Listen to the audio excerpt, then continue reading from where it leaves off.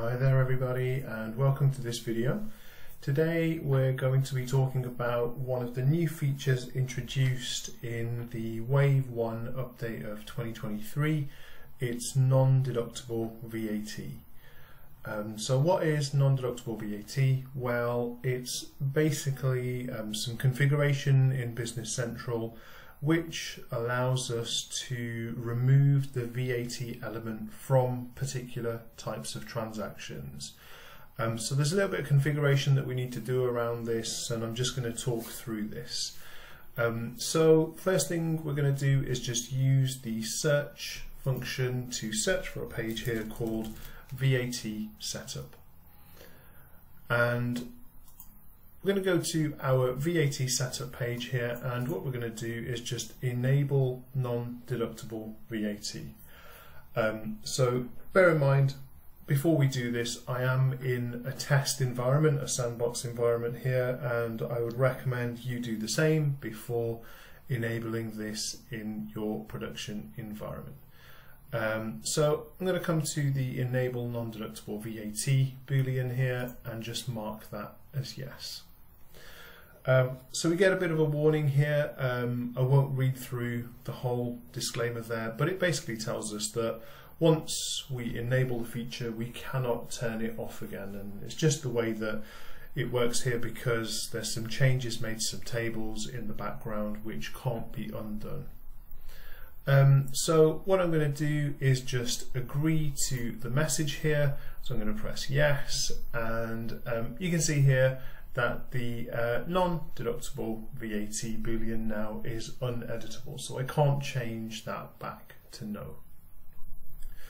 Um, so some of the other functions which are now available to us um, are the um, non-deductible VAT options here. So I can use this for the item cost, for the fixed asset cost, for the job cost. And this is basically to do with the different modules that we might use in Business Central. Um, it just depends um, which modules you want to use the non-deductible VAT functionality with. Um, I do have another checkbox here for show non-deductible VAT in line, so I can enable that if I want to show the um, non-deductible VAT functionality within the lines on documents, journals and so on. And as I mentioned earlier, if we want to use non-deductible VAT for our item cost, fixed asset cost and job costs, we can enable the booleans here. Um, so we do need to do a little bit more setup here. So um, you can see here I've got a notification, choose complete to open the VAT posting setup page where we can complete the setup for non-deductible VAT. So if I press complete here, it's just going to take me to another page within Business Central here called the VAT posting setup. Um, so we will do another video which talks through um, this page and sort of the way that that works. Um, but essentially we've got new fields here for allowing non-deductible VAT and setting the non-deductible VAT percentage as well as a non-deductible purchase VAT account.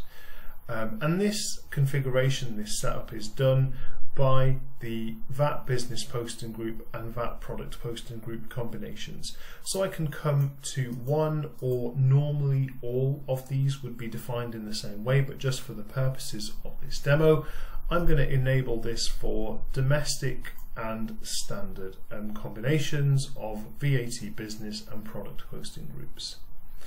Um, so what I'm going to do is change the allow non-deductible VAT to allow and the non-deductible VAT percentage I'm going to set that as 100. Um, so the other field that we had here was the non-deductible purchase VAT account and as I mentioned here um, that is one of the new fields that we have as a result of turning on the non-deductible VAT functionality. Um, I don't have to use that though if I don't want to. Um, I'll explain the difference between using that and not using that when we start posting um, transactions. Um, so you can set that up for a number of different VAT business and product posting group combinations if you want to but here I've just set it up for domestic and standard Um, and we'll remember to select those when we're posting some transactions. Um, so really that's all the configuration that we need to do. So what I'm going to do is go back to my purchase invoices here and what we'll do is we will post some transactions now. So I'm going to raise a new purchase invoice and I'm going to select a vendor here. So I'm just going to select first up consultants here and I'm going to select a GL account here of 10100 just to make life easier. And I'm going to select a quantity of 1 and a direct unit cost of 100 and um, we can see I do have some VAT coming through there but I think it's not the combination of product and business posting group that we need. So I'm just going to add in a column here. This is a new environment, so I don't have any of my columns. Uh, let me just find the right one. Just drag this over. So, okay. And I'm going to change that to standard. So now what you can see is the VAT business posting group is domestic, the VAT product posting group is standard, and I have um, a total of 100 excluding VAT and 20 VAT. Um, so it's all in local currency GBP here, um, but that is my very simple purchase invoice that's put together. So let's give myself a vendor invoice number. And what I'm going to do is just hit the preview posting function here, which is just going to show us the entries that will result if we're about to post this invoice. Um, so what we're interested in here is the GL entries and here what we've got is two entries for GL account 10100 and one entry for 50100. So it's these two that we're interested in here because we've got the cost amount of the line on my invoice going to GL account 10100 but also we have the non-deductible VAT element as well. So the 20 pounds of VAT has also gone to the same account that I've used for my cost on my invoice. And I've got the final line here, which is just um, my accounts payable, my creditor control account for the full amount of the invoice. So you see how the postings work there. This posting to 10100 I get because I put in 100 as the cost element. And this posting I get to 10100 because of the 20 GBP of non-deductible VAT. So that's one of the ways that you can set up when you're posting non-deductible VAT. But if I go back to the VAT posting setup here, remember we talked through the field that we have here for the non-deductible purchase VAT account. And what I'm just going to do is I'm just going to add a new account here for that. So I'll just check the account numbers for a minute.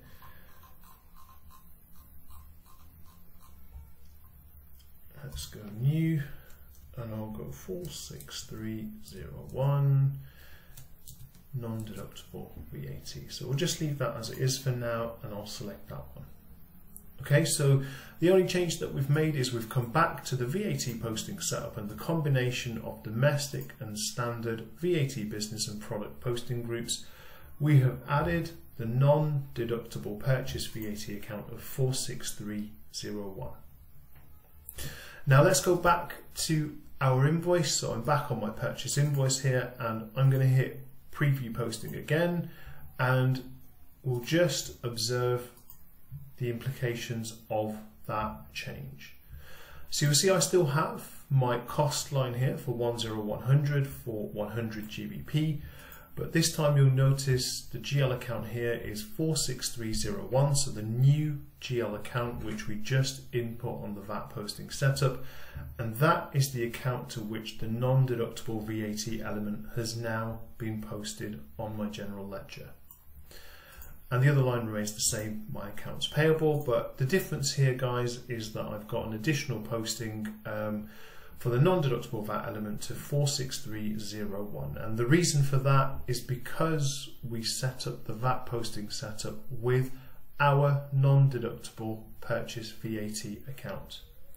So if you don't do that, it goes to the cost account. If you do put that account in, it goes specifically to that account. And I guess it depends on which way um, you want to work and you want postings to be made to your general ledger.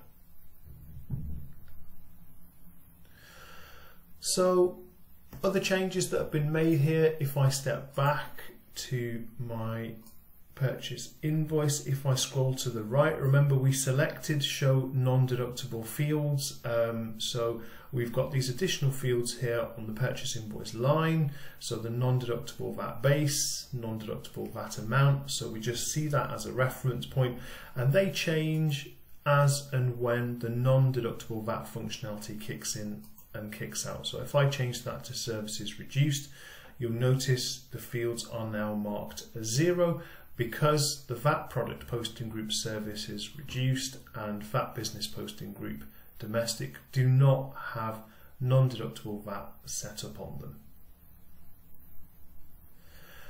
Um, so other changes, as you'd expect, these fields have also been added to our VAT entry. So if I search for the VAT entries table, we do also have, and we just need to add those in.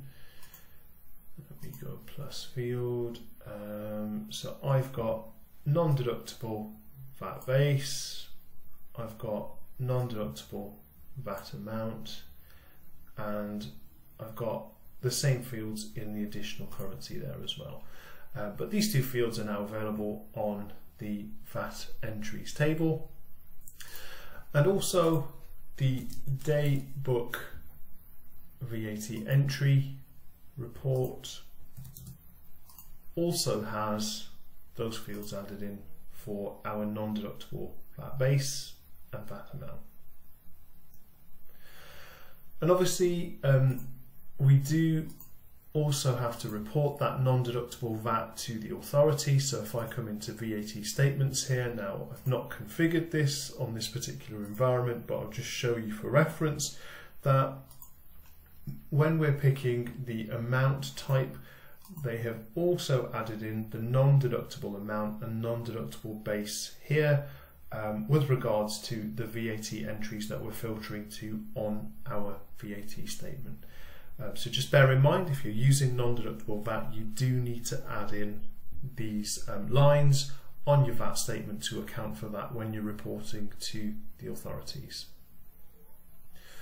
Um, other things to mention guys is obviously you may not be using the non-deductible VAT functionality in a fresh environment in which there are no transactions. Just consider transactions which are already there at the point when you turn on the non-deductible VAT functionality. So there's considerations that you need to make there um, if you're turning it on in a system which is transacting and live already.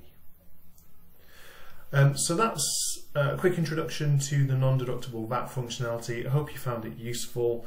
Thank you very much guys and uh, we'll see you on the next one.